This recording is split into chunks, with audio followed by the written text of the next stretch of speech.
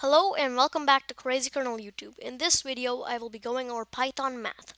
There are many common Python math functions, and we will be going over four of them in this video. The first one is the plus symbol, as shown on screen. This will return 34. Let's try this out in the command prompt. 34 is returned, so our code successfully executed. Now let's try the multiplication.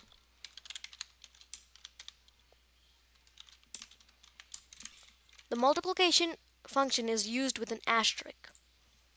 Let's execute this block of code and see what happens. It returns 66 for the multiplication. Now let's do subtraction.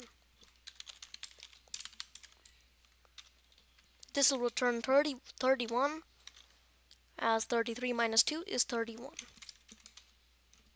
Okay, now let's try the division. 33 divided by 3 is 11. Let's see if it returns 11. And there we go, it returns 11. These are the four most common, commonly used math functions.